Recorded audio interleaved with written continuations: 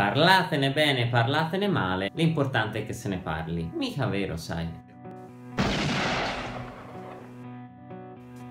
un bel pistolotto, perché questo è uno degli argomenti più spinosi ma anche uno dei miei preferiti. Sono convinto che in generale sia una sciocchezza dire parlatene bene, parlatene male purché se ne parli, ma l'argomento in realtà è complesso perché la risposta è un grosso dipende. Ci sono i casi in cui il parlare male crea comunque il cosiddetto hype, fa gioco di chi propone contenuti, al contrario invece delle volte in cui è assolutamente controproducente. Facciamo degli esempi e poi tiriamo le conclusioni. Ci sono dei casi in cui il parlatene male in realtà fa gioco di chi crea quel contenuto. Soprattutto non ha senso assolutamente condividere un contenuto per poi criticarlo aspramente. È l'esempio di qualsiasi post politico nel quale sono pieni commenti offensivi o le critiche eccetera, però in realtà se tu condividi un contenuto sulla tua bacheca non fai che amplificare quello che viene detto, anche se non sei d'accordo.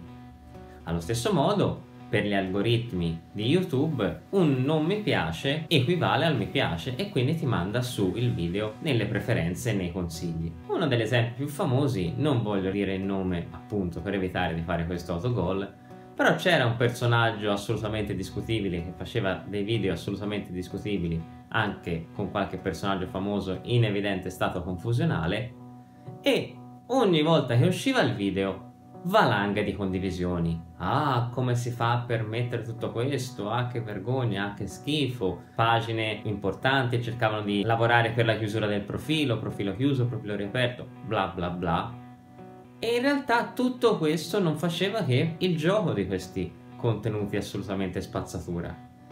E allora nel nostro piccolo l'unica cosa che si può fare è ignorare questo tipo di contenuti, perché veramente condividerli per criticarli non serve assolutamente a niente. Così per quanto riguarda la musica, se vuoi criticare un artista ma lo butti sulla tua pagina, alla fine è più facile tu trovi qualcuno a cui quel video piaccia, invece che avere i tuoi sostenitori. E poi sostenitori di cosa? Mi piace citare invece alcuni esempi poco conosciuti se vogliamo in cui la pubblicità negativa invece ha fatto il suo lavoro rendendo quindi giustizia, se così si può dire, ad un pessimo contenuto.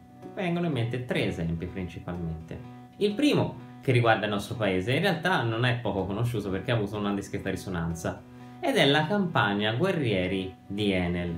Enel aveva lanciato questo hashtag Guerrieri nel quale invitava le persone a esprimere atti di coraggio, atti di valore che riguardassero insomma in qualche modo. In realtà quell'hashtag è diventato un crash tag, come dicono gli esperti, ovvero si è rivoltato contro il loro creatore, perché la gran parte dei contenuti erano critici nei confronti di Enel per la politica ambientale, per il rispetto del territorio o magari per le tariffe troppo alte ingiustamente, per il monopolio, tutta una serie di elementi negativi che si sono rivoltati contro l'azienda.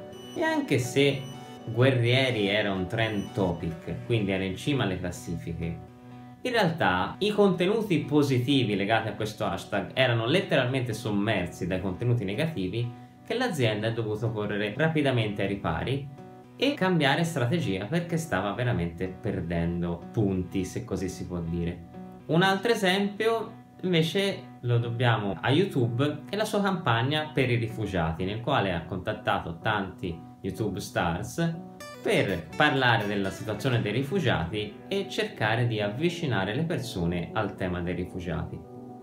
Il problema dei rifugiati è che è un tema molto divisivo, molto sentito e che crea molte polemiche. La gran parte dei commenti e soprattutto dei non mi piace erano o degli haters o dei troll che in questi casi ci si divertono male oppure di persone che dei rifugiati proprio non ne vogliono sapere. Risultato? Milioni di visualizzazioni, sì, ok, ma la campagna non ha sfondato. Soprattutto non è riuscita nell'obiettivo di sensibilizzare le persone ai rifugiati cambiamo un po' argomento, parliamo del nostro aspetto, parliamo di video. Se si guarda il video con il record assoluto di non mi piace, è il trailer del film Ghostbusters. Quella roba, lasciamo stare i commenti, che hanno fatto pochi anni fa. Era un remake del famoso film degli anni 80 interpretato da Don, sempre nato dal Saturday Night Live, però diciamo con risultati modesti. Cosa è successo? Che il film si è poi tramutato in un flop. Nonostante tantissime visualizzazioni, però l'iniziativa non è piaciuta, il trailer non faceva ridere e allora è diventato tra virgolette una barzelletta. Cosa è successo? Uscito il film, pochissimi sono andati a vederlo. Nonostante il gran numero di visualizzazioni, il film è stato un flop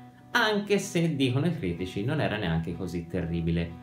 L'ultimo esempio, infine, riguarda la musica, che è il nostro terreno. Alcuni anni fa c'è stato l'ennesimo tentativo di ritorno in grande stile dei Van Halen, con la canzone Tattoo. Tattoo era anche un bel pezzo, con un bellissimo assolo di chitarra di un, sembrava finalmente ispirato, Eddie Van Halen. Un po' per il balletto di, non mi ricordo mai se era David Lee Roth o Sammy Hagar, anche perché si sono alternati entrambi cercando di tornare alla ribalta con scarsi risultati. Comunque sia, i fan non hanno gradito, il video è stato coperto di non mi piace e anche in quel caso il non mi piace si è poi trasformato in un flop in termini di vendite.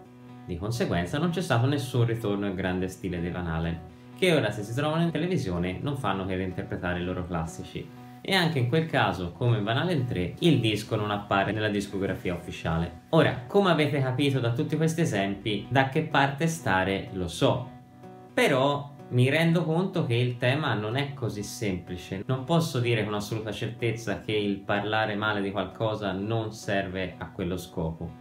Anche perché se si parla di musica o di altri tipi di elementi che non hanno un valore positivo o negativo, il parlare male di qualcosa comunque crea condivisioni, aumenta l'algoritmo, persone si avvicinano a quel contenuto e allora male non fa. Vorrei evitare di giungere a conclusioni affrettate, anzi preferirei sentire anche la vostra opinione e si inscenasse un dibattito su questo contenuto, anche alla luce dei fatti più attuali. Vorrei evitare di fare soliti nomi anche perché sennò sembra che stia cercando di sfruttare l'onda lunga della popolarità altrui.